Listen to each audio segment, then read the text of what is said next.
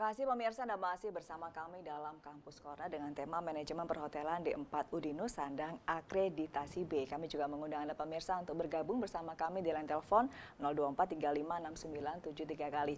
Baik, saya beralih ke Huan. Huan, ini uniform setiap hari di manajemen perhotelan seperti ini kah?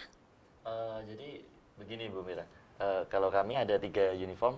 Yang pertama memakai kemeja warna biru dan pakai jas seperti ini. Kemudian itu digunakan hari Senin dan Selasa. Kemudian hari Rabu dan Kamis kami menggunakan kemeja lagi, kemeja lagi tapi warna kuning. Hmm. Lalu jasnya seperti ini juga. Hari Jumatnya kami menggunakan batik.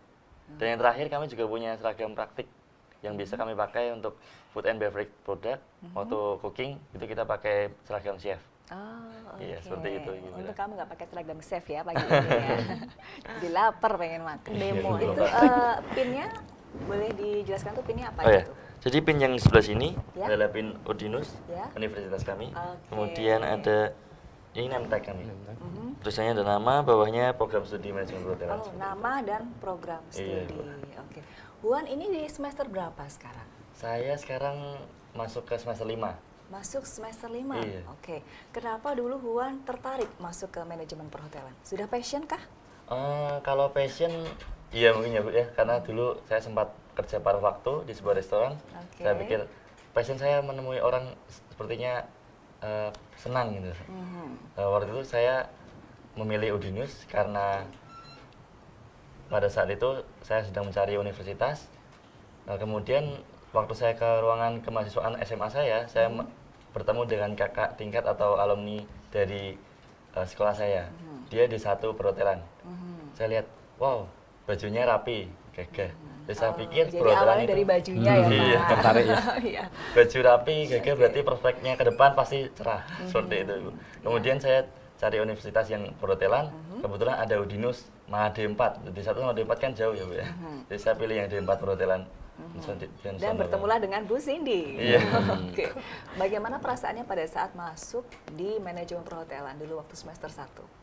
Uh, perasaan saya tentu saja pasti senang, senang dulu sesuai dengan ekspektasi. Iya, ekspektasi. Iya. Di empat perhotelan, lalu ada seragamnya bagus gitu. Kita juga belajarnya banyak dari situ. Hmm. Apa saja yang sudah dipelajari sampai di semester 5 ini? dari semester 5 kita belajar dari uh, dasar dulu, mulai dari hmm. semua se departemen section yang ada di hotel, dari front office, housekeeping, food and beverage. Kita juga belajar dari back office juga, seperti apa di supporting office-nya yang di hotel seperti apa. Mm-hmm. Kemudian kami juga dilengkapi dengan praktik-praktik mm-hmm. dari cooking, pastry, ada juga bahasa juga kita dilengkapi. Jadi ini lebih banyak prakteknya daripada yeah. teorinya begitu? Iya, yes, bisa dibilang seperti itu, Bu. Dan ini sudah menjadi akreditasi B. Gimana yeah. perasaannya? Pasti seneng banget Pasti ya? Pasti tambah senang. Sudah di empat, iya. akreditasi B, prodinya baik, dosennya baik, wah sempurna rasanya ya. Pak Sunardi, ya. apa sih istimewanya akreditasi B ini untuk manajemen perhotelan? Ya, uh, jadi akreditasi ini merupakan pengakuan dari pemerintah hmm. terhadap kualitas program studi. Oke. Okay. Nah, kemudian dengan prodi Manahut itu mendapatkan akreditasi B, itu otomatis yang pertama memberikan kepastian kepada lulusan bahwa mereka itu lulus dari program studi yang terakreditasi program studi yang secara mutu itu diakui oleh pemerintah dan Berarti nilainya pada adalah saat baik. melamar pekerjaan itu juga menjadi ya, pertimbangan. Uh, biasanya ditanyakan hmm. ya. Jadi biasanya beberapa instansi itu menanyakan akreditasi program studinya apa. Hmm. Dan biasanya yang diminta itu minimal B. Hmm. Maka dari itu ketika prodi Manahut ini sudah mendapatkan nilai B itu artinya mahasiswa uh, dari sisi pengakuan akreditasinya sudah aman ya meskipun akreditasi itu bukan segala-galanya tapi yang terpenting kalau nanti mereka bekerja di perhotelan itu lebih ke skillnya okay. tapi sekali lagi pengakuan akreditasi ini menjadi uh, bukti bahwa proses pembelajaran di Udinus itu dikatakan baik oleh uh, pihak yang berwenang dalamnya adalah Kementerian Ristek dan Pendidikan Tinggi. Hmm, Ristek Dikti ya, jadi ya. diakui, diakui begitu ya. ya. Bu Cindy, untuk hmm. manajemen perhotelan uh, D4 ini uh, saya yakin kalau uh, mahasiswa Udinus yang nonton kampus Corner pasti sudah pada tahu. Tapi masyarakat Jawa Tengah di luar sana pasti uh, penasaran ini. Apa saja sih yang bisa dipelajari dari manajemen perhotelan D4 Udinus ini Bu Baik.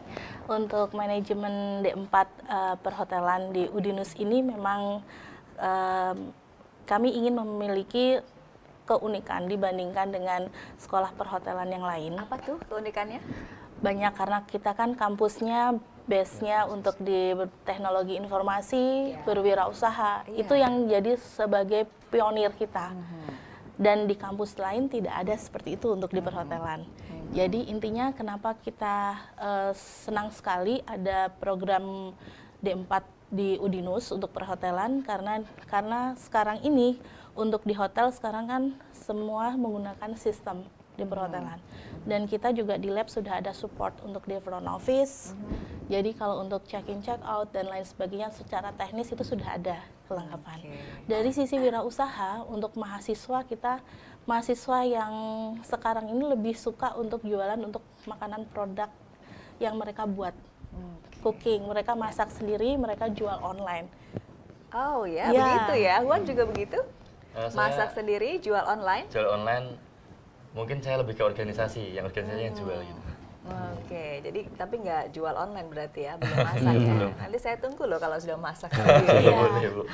Baik, uh, Bu Cindy, ini kalau uh, di manajemen perhotelan ini, itu kan tadi Bu Cindy sampaikan bahwa ini mengedepankan IT dan juga jiwa wirausaha. Betul. Nah, berarti teman-teman yang berkuliah di manajemen perhotelan ini yeah. bukan dididik sebagai staf perhotelan saja, tapi juga menjadi bisnismen begitu. Betul sekali. Karena memang uh, untuk dunia sekarang kita kan memang kompetisi itu memang selalu uh, sekarang sudah semakin ketat di hotel mereka tidak hanya menguasai ilmu tentang perhotelan maupun dari sisi manajemen manajerialnya. Karena mereka di D4 diharapkan nanti lulusannya untuk menjadi di lower managerial di supervisor level hingga ke manager GM dan kami inginkan di wirausahanya adalah harapannya suatu saat menjadi owner. Oke, amin. Huan ada cita-cita menjadi owner hotel? Ada dong, Bu. Oh, ada dong. Oke. Ini selama ini sudah magang di beberapa hotel yang ada di Kota Semarang? Saya magang di dua hotel. Mm -hmm. Yang pertama di Po Hotel Semarang atau Excon Plaza Semarang, mm -hmm. kemudian di Grandika Hotel Semarang. Mm -hmm. Bagaimana pengalamannya selama magang di dua hotel tersebut?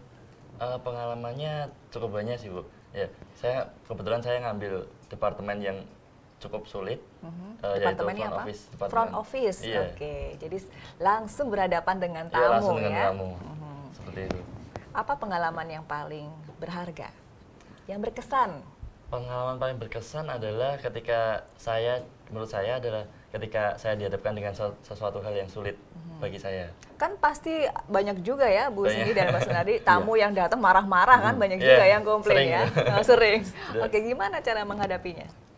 Yang Gimana? pertama kita kalau ada tamu komplain kita harus dengarkan dulu apa yang dia mau. Oh, kalau okay. tamu sudah menyampaikan, kita terima dengan baik, hmm. eye contact jangan lupa.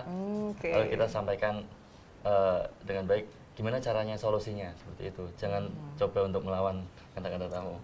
Oke, Bu Cindy, apakah itu juga diajarkan kepada teman-teman mahasiswa ini setiap harinya, Bu Cindy? Iya, kebetulan saya mengampu front office. Hmm, jadi, cocok ya, ya. Jadi memang front office be, mungkin sepertinya ujung tombak ya kalau front office itu karena di paling depan ya. Iya, karena first impression tamu memang ya, ada di FO tamu, untuk ya. FO staff dan mungkin Huan menganggap sulit karena memang karena di FO selain menguasai untuk handling gas, handling tamu, dia juga harus menguasai sistem juga. Hmm. Dan yang paling penting adalah bahasa, karena di front hmm. office kadang-kadang tamu nggak ada nggak orang Indonesia saja, pastinya ada orang luar negeri juga. Makanya kita okay. di manajemen perhotelan Udinus kita menyiapkan bahasa mulai dari bahasa Inggris, Jepang, Mandarin. Oke, nanti saya challenge Huan ya untuk hmm. saya sebagai tamu harus handling komplain dalam bahasa yeah. Inggris ya. Nanti di segmen berikutnya. Baik, pemirsa tetaplah bersama kami dalam kampus corner kami akan segera kembali.